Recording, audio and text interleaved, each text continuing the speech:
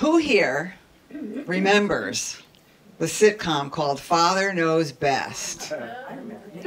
Okay, we're showing our age today. Yeah, yeah. Robert Young, Elinor Donahue, and uh, who's the third one? Wait. Jane Wyatt. Jane Wyatt, yes. And, you know, we're here today to celebrate Father's Day, and in that sitcom, it was like he had all the answers. And in my life, I thought my father had all the answers for a very long time, and I was really upset when I found out he didn't. He didn't. He pulled the wool over my eyes. And we all have a story about our fathers, right? My father could fix anything. It turns out my husband can fix anything also. Everything I break, my husband fixes. It's amazing. Our father is usually about protection and strength and vitality. And it's interesting because Father's Day always comes before the summer solstice. In the summer solstice, we celebrate the sun, the longest day of the year. And the sun is symbolic of the father and the strength and the protection of that, which I thought was very interesting. I never realized that. So, and we always have choices on how we think about our Father. And today I'm going to talk a lot about the Lord's Prayer and about the Father of all of us, right? God the Father. And yes, we use the word Father, but really it's so interesting because I believe God is love is both masculine and feminine. But in writing this, I realized how much I rely on that still as the masculine and as that God sense within me is the Father. And we always have choices, right? We always have choices on how we see things. And I have a little story here about a man who, his name is Joel, and he spent much of his time in prison. And he was always, he said, whenever my toes hit the floor in the morning, I'm on the lookout. I'm on the lookout for God everywhere. He's now out of prison and he's actually done a lot with his life. He works, um, he volunteers for a place called Homeboy Industries. It's a gang intervention rehabilitation. And we get to look at God as either we have a choice. We can look at God as somebody who judges us, which is the way that I was raised, or we get to see God as the one who notices and delights in us, which is the God that I believe in today. But I want to tell you a little bit more about this gentleman. Um, half of his life had been spent in jails and detention facilities. And before coming to this particular um, organization, he was a meth addict and it crippled him, surely, for much of his early gang alliance did. And they were speaking in his office, and he, the man is now married and has children. But while he was growing up, he was taken away from his parents because they were so violent and there was a lot of uh, beating and everything. And they were he was put with his grandmother who was also very mean to him.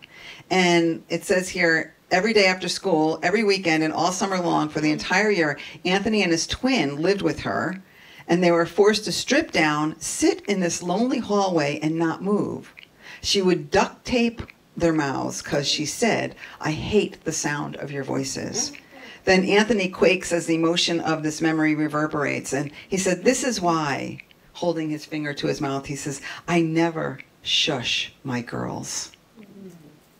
He pauses and restores what he needs to continue. I love the sound of their voices. In fact, when the oldest one grabs a crayon and draws wildly on the living room wall, and my wife says, Do something. Aren't you going to tell her something?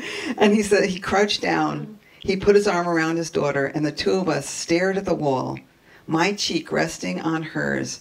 And I point out and say, Now that's the most magnificent work of art I have ever seen. It gives me goosebumps. You know, we have the choice of being the victim and continuing that pattern or changing it and he chose to change it exactly. There are many of us that choose to change it. So, I, for one, hmm. first of all, the Our Father. That's what I used to call it. I never called it the Lord's Prayer. Growing up, it was the Our Father.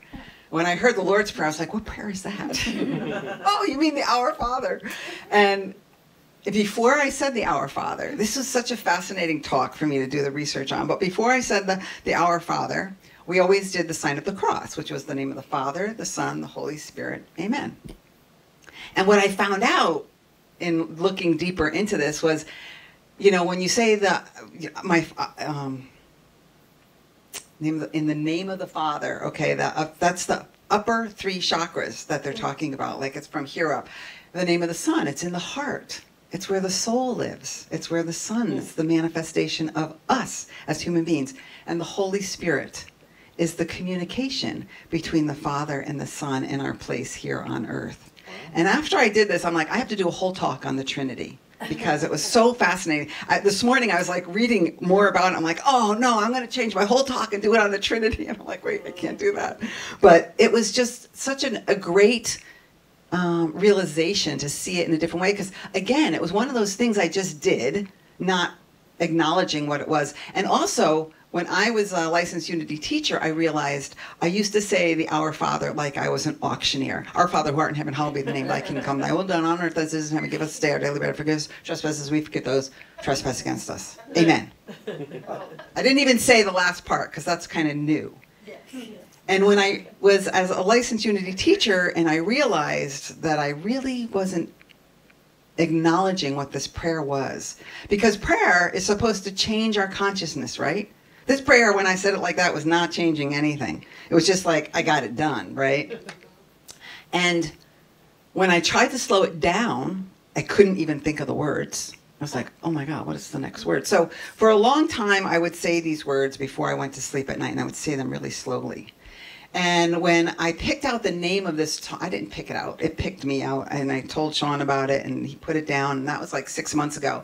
And when it came up, I was like, oh, okay, I got to do the, the Lord's Prayer. And just to start out, you may already know this, but Jesus said he was giving us an example of how to pray. This wasn't the prayer to end all prayers.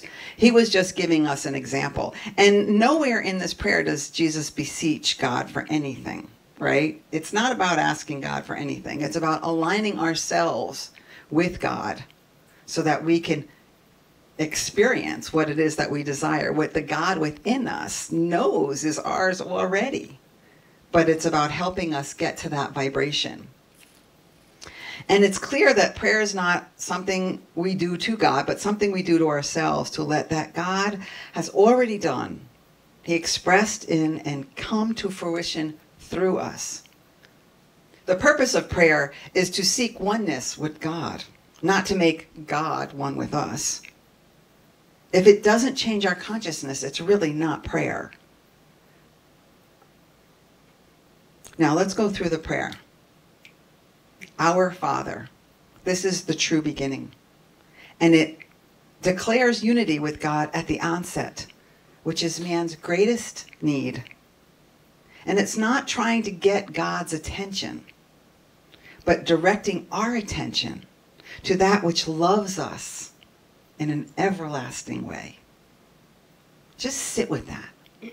That love is in us we forget it. I forget it all the time. But that love is here, and it's mine to remember and to love myself that way. And as I love myself, I can love others that way. It also speaks to the relationship between God and man or human, which is father and child, cause and effect. It cuts off any possibility of deity. As offspring of God, we too have divine spirit in us. We are divine.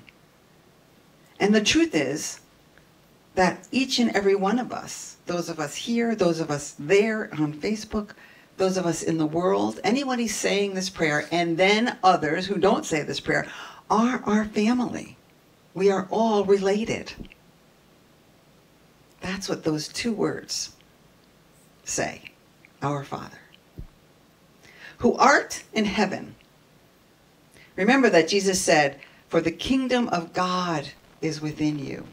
So heaven is within us. For years, I saw heaven as someplace out of me where God lived, right? Well, I don't believe that anymore, but sometimes I still catch myself thinking like heaven is outside of me, thinking like heaven is a place I want to go, forgetting that heaven is right here within me and it's always there. We simply ignore it. We forget to look and to listen for it. Both God and heaven are within us, and we have to remember to access it. Psychologists say that we um, repress our emotions. I think we also repress our good. And I think prayer is what's supposed to remind us of what our good is.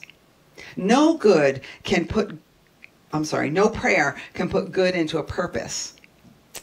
No good can put good, oh my goodness gracious. No prayer can put good in a person.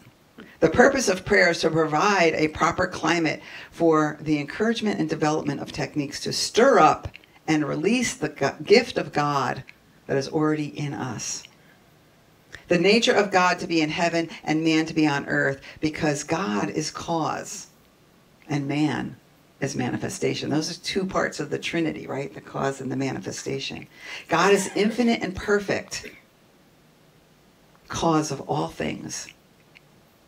Cause has to be expressed, and God expressed himself by means of man. That's a fact, by means of all of us. All of us are individual lights of God. That's what that candle represents the Christ consciousness that is within each and every one of us. No matter what we look like, no matter what we do, no matter how bad we are, God still loves us. God still delights in hearing our voice.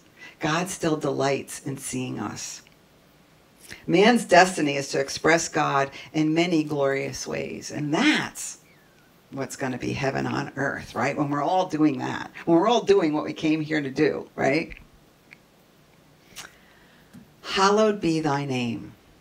Hallowed is derived from the name, from the same Anglo Saxon word that was given as holy, heal, and hold. It implies the wholeness and omnipresence of God. The same fountain cannot spout sweet and bitter water. A rose cannot produce a lily.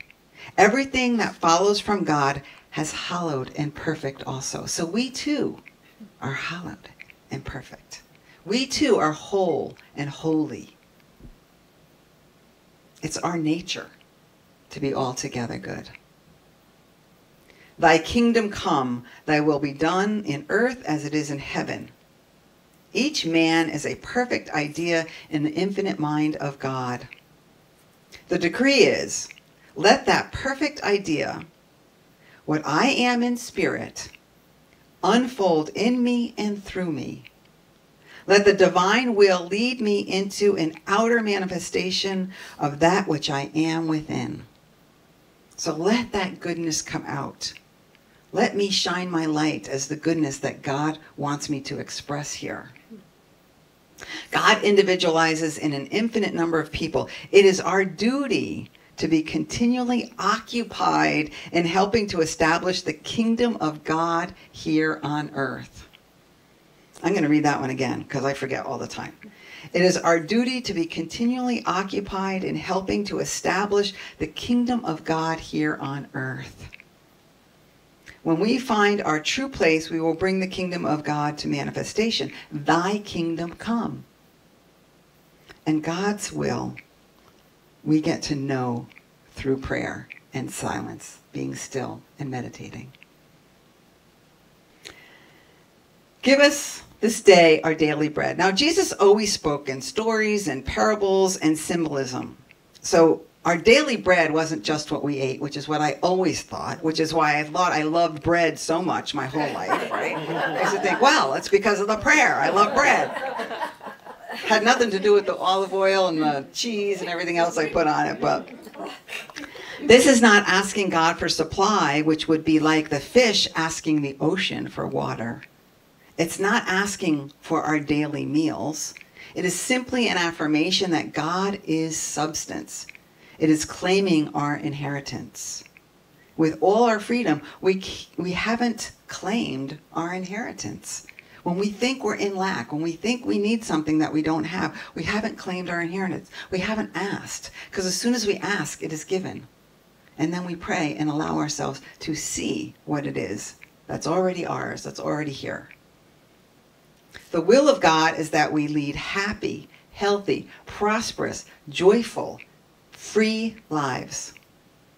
Daily bread includes everything that we need to do that. We must claim them, and God alone is the source for all of them. Our daily bread signifies the realization of the presence of God in us already. Forgive us our debts as we have forgiven our debtors. This indicates the working of the cosmic law of cause and effect. Give and receive, forgive and be forgiven. God doesn't need to forgive by any special act because God is love. God cannot forgive, actually, because there can be nothing but love in God. Love is the power of washing away any transgressions. So through love, man can forgive and render evil into good.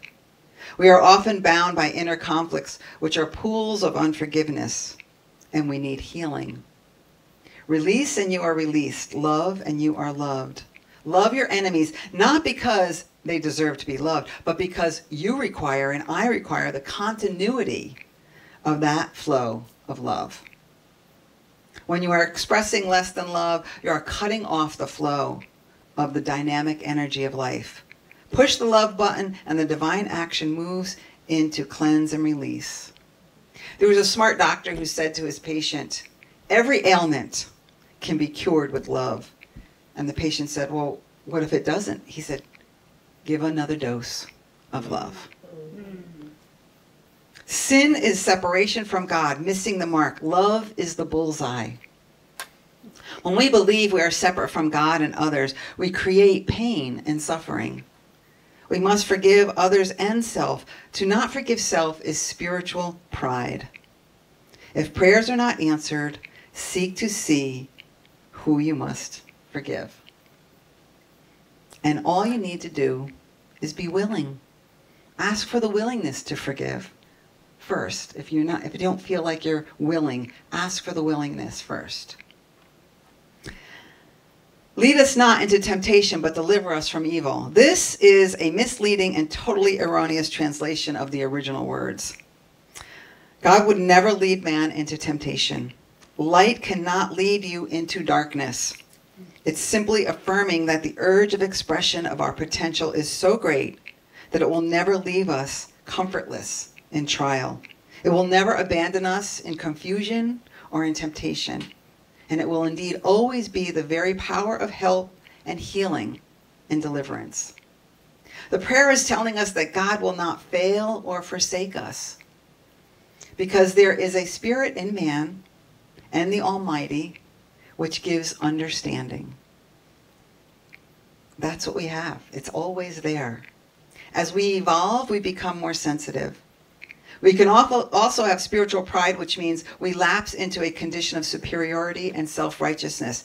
Great knowledge brings great responsibility. We must not fall asleep feeling superior to others or to become self righteous.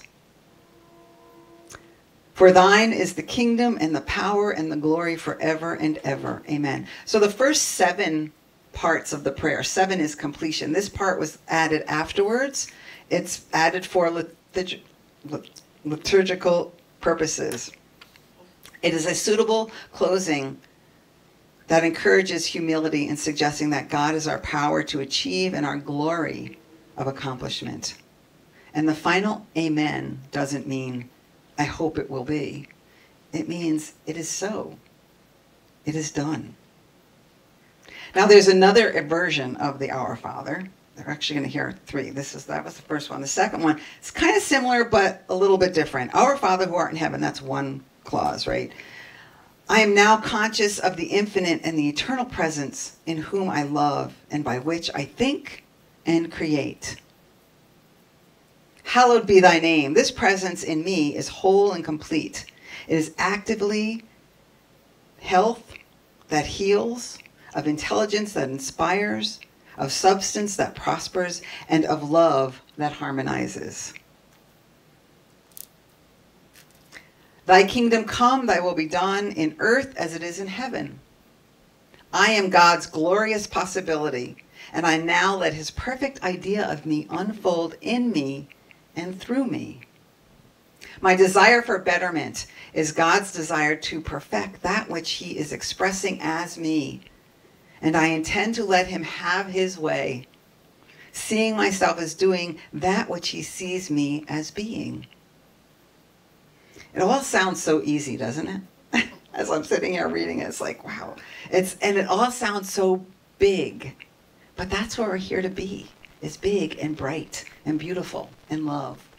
When we see little babies, right, that are just born, I see love. All I want to do is hug this baby and love. Every baby is just a ball of love. It's what happens as we get older that we can tend to take on doing bad things, right? After that story I read to you. Or we could decide not to do those bad things and do something completely opposite. But sometimes we have to go through stuff. We have to go through life to realize, oh, I don't want to do this. I don't want to be this. Give us our daily bread. I have no existence outside of God's presence, for I am that presence expressing as me. Therefore, I can never be separated from all sufficient substance of opulent universe. I claim my divine inheritance and I daily, perpetually manifest abundant supply. So affirming. Forgive us our debts as we have forgiven our debtors. The presence of love in me is my potential for dissolving all conflicts of transgression. The presence is love, and it loves in me and through me as love. It forgives in me and through me as I forgive. It releases me as I loosen and let go of all my limited thoughts about myself and others. Lead us not into temptation, but deliver us from evil. The presence in me is my light and my deliverance. There is no darkness in the light, and there can be no darkness in me when I am established in spiritual unity with the presence within me, which is better than light and safer than the known way. For thine is the kingdom and the power and the glory forever. Amen. In all that I seek to be or do or have, I humbly recognize that in the presence is my own power to think, my very aspirations, my will to commence, my strength to keep on, my power to achieve, and the glory of my accomplishment. This is the truth. This is what sets us free. So be it. And the final version of the Lord's Prayer is what I saw in, and I'm actually going to read this, the Holy Spirit's interpretation of the New Testament. Jesus said, Pray like this according to what you find in your heart. Father, let me know you. Let your kingdom dawn upon my mind that I may be led by your will and become as one with it. Let me hear your word within my mind let my lessons be given me, that I may be closer to you through the actions in my day. Let me forgive myself as I know you have. Let me see my brothers as innocents, as they truly are. Let us watch our minds for evil thoughts that would trick and blind us to the light within. Let us let those thoughts go so that they may not cloud our minds for knowing the truth. Amen. That was Holy Spirit's interpretation of the New Testament. And this is saying from our light within, we will see and be the light. Remember our purpose in all things and follow the guidance that comes from within. Now, in January, I claimed that the year of 2023 was going to be about Psalm 23. So every month I try and pick a part, and this just jumped right out at me. It was so clear. And the part that says, Even though I walk through the valley of the shadow of death, I shall fear no evil because thou art with me. God is right here with me. The Father God, Mother God, I am God is right here with me, always. Surely goodness and mercy shall follow me all the days of my life and I shall dwell in the house of the Lord. God is the Father and is always with me. So to summarize, our Father does know best. But once again, our Father is not outside of us. That love that represents our Father is cause and can always be found within when we stop and look for it. The Lord's Prayer is our guide, and when said consciously, it changes us not God. We are the ones that need to get into alignment with all the good that God has already wanted for us happy, joyous, free, prosperous. There is no asking or beseeching in the prayer, it's statements of truth. So go within and listen to what Father God, Mother God, Christ consciousness has to say to you. You will see. Father knows best. So thank you. I'm your sister in prayer, possibility, and power. I see you. I appreciate you. I love you. Until we meet again, remember you are blessed and you are always a blessing. Yeah.